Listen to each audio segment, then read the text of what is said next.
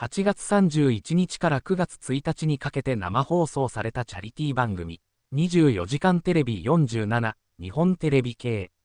昨年11月に系列局である日本海テレビジョン放送、元男性局長の寄付金着服問題が発覚し、放送開始前から批判的な声も上がっていた。逆風吹き荒れる中での放送となったが、終了後は出演者の好感度も明暗を分けたようだ。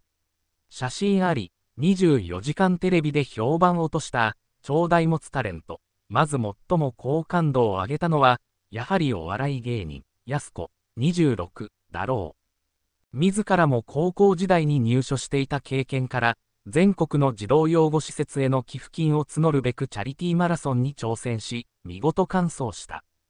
放送前から炎天下のマラソンには厳しい声も寄せられていたが、当日は台風10号の接近によってコース変更を余儀なくされることに。初日は日産スタジアムの陸上トラックを30キロ走破したが、翌日早朝からは東京、両国国技館を目指して出発することに。後半では左足首を痛めてしまったが、沿道の声援に明るい笑顔で応えていた安子。一方ゴール直前には、沿道にいた一般人男性が安子に触れようとするハプニングが勃発するも、気持ちを切り替えて続行。そして、結果的に4億3801万4800円もの募金が集まったのだ。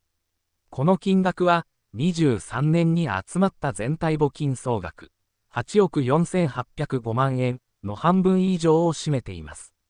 安子さんの好感度が高くなければ、ここまで集まらなかったのではないでしょうか。批判も多かったマラソン企画ですが、安子さんは文句一つ言うことなく常に前向きな姿勢を見せていました。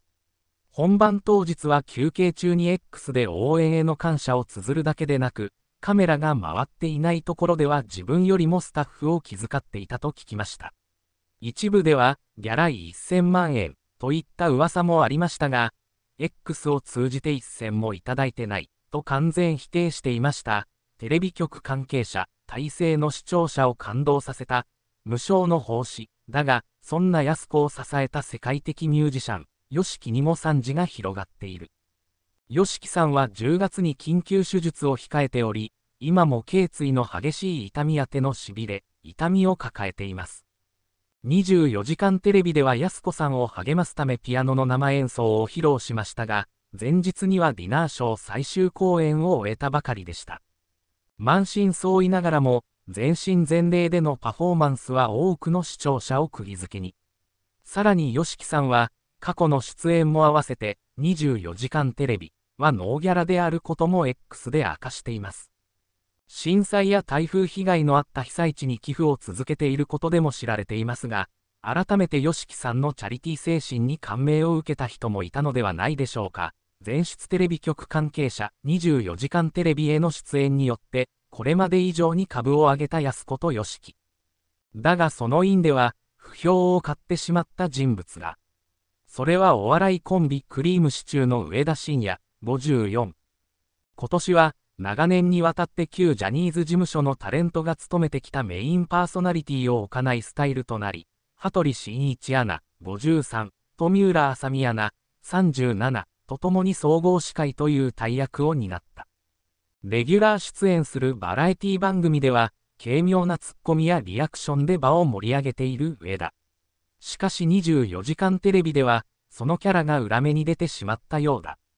X では最高の MC だった、と評価する声もあったが、共演者に対する接し方に全く笑えない、見てて気分悪くなる、と厳しい声も目立つなど賛否真っ二つとなった。ただでさえ寄付金着服問題やマラソン企画に批判が集まっていたので、風当たりの強いの中で務める総合司会はプレッシャーも大きかったことでしょう。上田さんは数々の番組で MC を任せられていますが、安定した進行は業界内でも定評があります。先輩、後輩問わずどんな出演者にも鋭いツッコミを入れ、番組を盛り上げる手腕はピカイチ。ですが、24時間テレビはチャリティー番組とあって、バラエティ番組とは性質が異なります。ドキュメンタリー要素も強く真面目な内容が多かっただけに、上田さんのノリやツッコミはメインの視聴者層とのミスマッチを招いてしまったのかもしれません。今年は旧ジャニーズのタレントがメインパーソナリティを務めないという中、家中の栗を拾った上田さんはもう少し評価されてもいいとは思いますが、前出テレビ局関係者、来年も24時間テレビの総合司会として上田の再来はあるだろうか、果たして。